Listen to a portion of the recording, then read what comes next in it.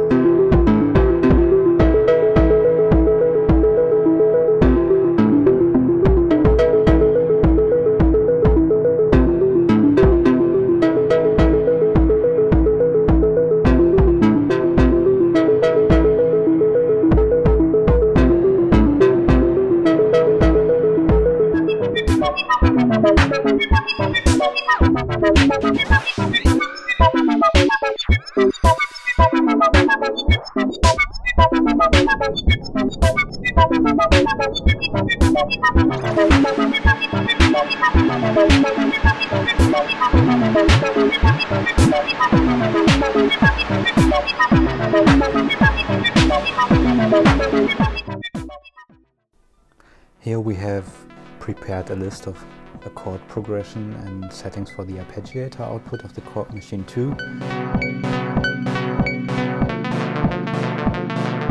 This list has four chords and settings for the output of the arpeggiator that is uh, skipped through by a clock divider, so it's in sync with the beat. What does that mean? If I unplug the clock divider, I can now skip through this list manually.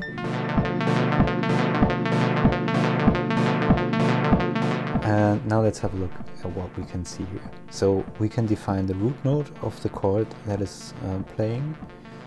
Um, right next to it we can define the inversion. Use the other hand here. You can choose the inversion of the chord.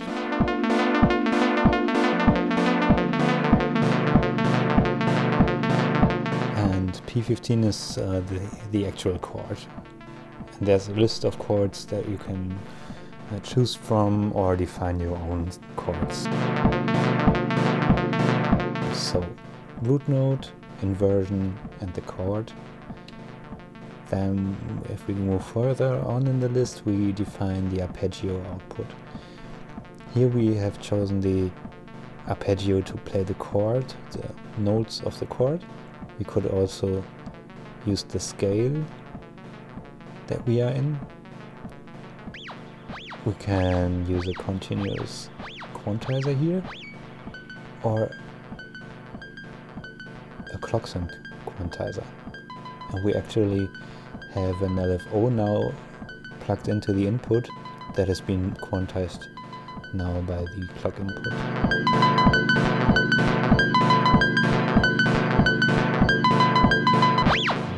Back to the chord arpeggio. If we move on, we can obviously do things like transposing. We can transpose the arpeggio output an octave up, for example, like this. We could choose a different chord for the arpeggiator than for the chord output. We can change the direction of the arpeggiator. This one has also a random feature.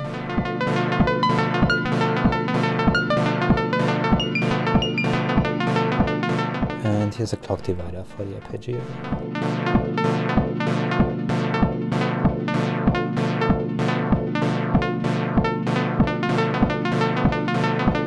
Here we define the length of the list so um, everything we've seen here and um, is just one part of the list, part one.